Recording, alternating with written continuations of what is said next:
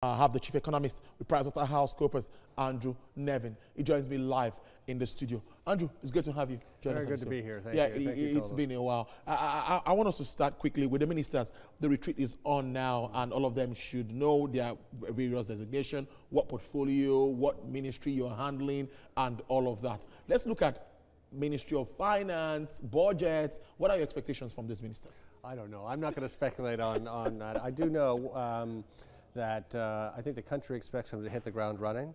And the president, uh, presidency's now said many, many times that uh, his number one objective is to list 100 million people out of poverty in the next 10 years. So with that so much in the public, I think the public can hold him accountable for that. So the question they'll be asking the ministers in finance and budget and planning and everything else is, you know, what are you doing to achieve that goal? So if you think back to the first term, we, we've sat here and said there really no structural changes happened in the economic uh, management of the country. I think now people can demand what are the structural changes that are going to see us start to see a reduction in poverty. Well, indeed, issues around policies should be very, very important here. Now, the stock market's been on a standstill for some time. A lot of losses from that end. So many believe that a lot of policy issues need to be addressed as this guy is coming. What do you think? Well, I, I, think that both the domestic investors and foreign investors, they don't want to come right now to Nigeria. I mean, we were quite optimistic uh, maybe two or three years ago that despite the drop in oil prices, we could come out of it more strongly. That hasn't happened. It is still very difficult to, to invest in this country, and I know so many entrepreneurs that want to do things. And when they look at all the barriers, it just takes so much longer and more expensive than it should be because there's still so many barriers, so many different licenses that you need, so many, um, so much complexity. I mean, we've been on this show and we've used the word simplicity. There needs to be a simplification of doing business here. Businessmen are not, I mean, I think sometimes in the public sector they think businessmen are out to take advantage of people. Most of the businessmen that I deal with every day, they want to build a company, they want to deliver a service, but they're being prevented from doing that. And the Nigerians want to buy these services and they want to buy these goods, and, but we're still not getting the investment we need to grow the economy indeed growing the economy. Let's look at some fundamentals. Figures were out last week and inflation dipped again. And many say it's looking good, but some say it's not yet uhuru. So what do you make of these figures coming out from the NBS? Well, it's, it's last few years we've steadily, and we've talked about it, steadily seen inflation come down, the headline NBS number. I think that the NBS does a fantastic job technically. The, the problem is someone, remember they're only measuring it in some places, a number of places. They're not measuring everywhere simultaneously. So your inflation rate may be different than, than what, um, what the NBS is saying. But I think that what is more concerning is in this country at the end of the day is food inflation. So if people recall what uh, was on the screen, um, when you put it up there, food, food inflation is still over 13%, and that's worrying. Now, of course, if we were producing more food, I think the food prices would, would come down. Inflation would come down. You might even see a reduction in food prices. But there's still barriers, not so much to the food production. The two big issues I see, one, of course, is the logistics of getting the food from the farm to the table and that the expense of that. But the other thing that's happened is because of the insecurity, a lot of farmers that would farm are not farming, which means that, that we're going to continue to have pressure on food prices. They're not bringing that product to the market, um, and that's an issue for us. We, we, I'll, I'll definitely want to touch on this. Central Bank projects that one way or the other we will get to single inflation figures anytime this year. Do you see that playing out? Well, I think we've said the same thing for a number of years. If business was easier, you could easily bring, you would bring down inflation. If it was easier logistically, if we had better infrastructure, if the PEBEC sort of uh, focus on ease of doing business, if that improved, then inflation would definitely come down. But it's not going to come down through monetary policy. It's going to come down because we make structural reforms that make it easier to run a business and they don't have so many expenses, so many extra fees, so much time lost uh, through logistical challenges, infrastructure challenges. And now, dip, dipping down to the reality on ground, uh, uh, a Nigerian just wants food on his table and being able to purchase. That's increasing purchasing powers of all, all of this. Now, our population, we st we're still not growing at par when it comes to figures, uh, population growth, and what we have as GDP? No. So, I mean, I think the GDP number comes out in a few weeks yeah. for the second quarter. I'm not sure we can expect anything different, probably around 2% growth. We know that our uh, our um, uh, population growth is 2.6, 2.7%, so still going backwards. So, but I think, again, having the, the presidency, and of course the central bank also announced that we needed to have double digit GDP growth, so that means over 10%. So I think that the Nigerian population can ratchet the pressure up on the on the presidency, on the federal government, and say, you know, when are we going to start to see to see this growth? But I, I, will say, I think one thing that we really see is there is a lot of activity um, that maybe is sometimes not apparent at the state level. So, so even though sometimes the structural issues at the na national level, they're not easy to solve. It's a big country, it's a complex country. Um, we see a number of governors just getting on with what they're able to do. They're very focused on investment in their state. They're not waiting for the federal government. They have projects they want people to come into. They're trying to make it easier to do business in their state. They're trying to make it clear they welcome investors on that. I mean, just a few, that, not to name them all, but a few that come to mind are Governor Makinde in, in uh, Oyo State um, Governor Obaseki in Edo State, uh, Governor Rufai, El Rufai in Kaduna, State.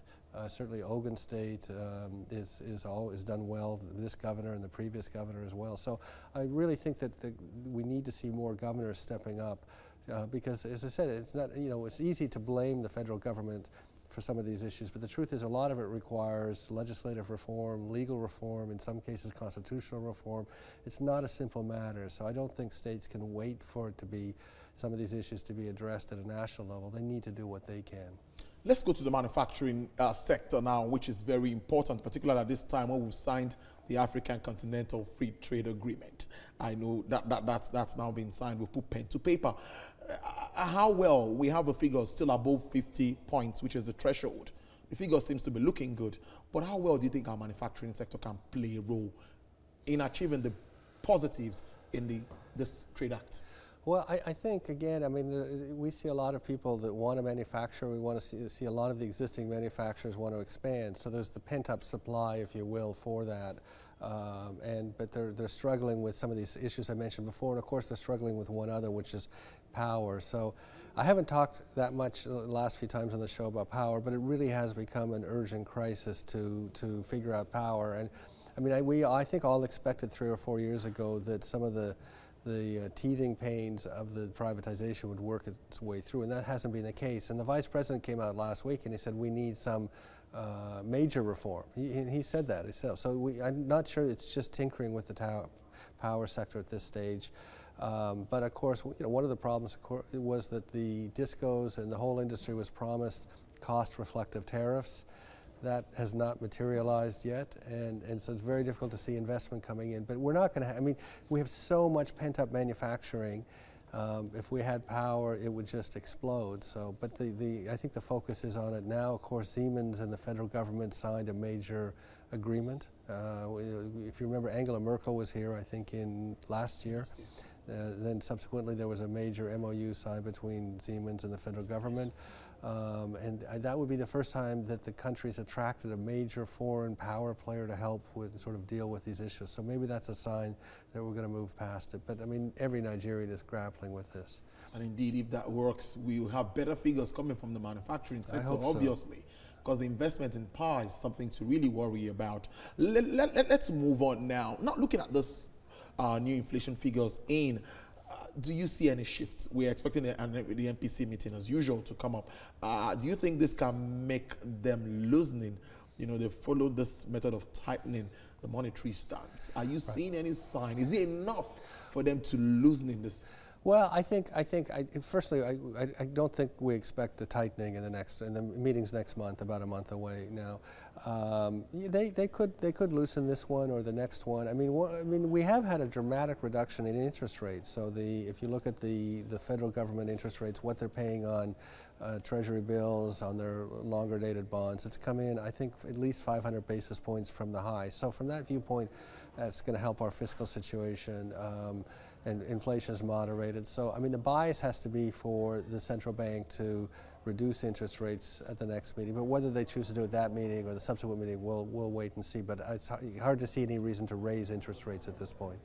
Andrew, Andrew I, I, need to talk about this. Crude oil price is also looking very good considering the trade war. Now, let's look at its effect. Like what I read earlier, it's already impacting on other economies and Nigeria won't be left out, even the continent in its own, uh, in its entirety. What are you thinking? Well, so we've said for a number of years, let's let's make sure we take advantage of higher crude prices, sort of 65 to 75, touched 80, I think. Um, now they're back around 60, a little under 60, which is under the benchmark. Um, yeah, I mean, I think that the things going on outside the country are very worrying for, for Nigeria. And um, um, if we if we don't get the structural reform, if we get the structural reforms, I think we'll do fine because we'll attract capital. I mean, when you think about what's happened, you have I think 14 trillion euros of uh, bonds in Europe, which of negative interest rates. So those people are willing to accept less, you know, not even get their money back uh, by lending it to the government there, right? So if we can create investment opportunities, we'll get some of that money. But just in terms of, of flight to safety, because we're not considered a safe place to invest money, uh, if, the, if the global economy does start to go into a recession or growth slows significantly, you typically have this flight to safety. If we're not considered a, a relatively safe place to hold our money, then liquidity is going to get sucked out here. It's going to put a lot of pressure on us, on our interest rates. So that's a big concern. And that the issue of recession is really brewing because it's all over. It's, um, you know, the German market has been down. The effect has been felt all, all, across the world. Well, I mean, I think one basic thing is demographics. So you have working age population shrinking in China, Japan, Korea, Germany, Netherlands. So it's not a big surprise that the economy doesn't grow very fast. So I don't think that this slowdown should have been um, unexpected. But again, I, I think in Nigeria what's happened is we had a two or three year window um, when oil prices rebounded after the, the lo real low in January 2016 and, and the Naira crashed almost 500. It rebounded, I think the rebound um, was managed well by the CBN, uh, the federal government, the Minister of Finance very focused on it.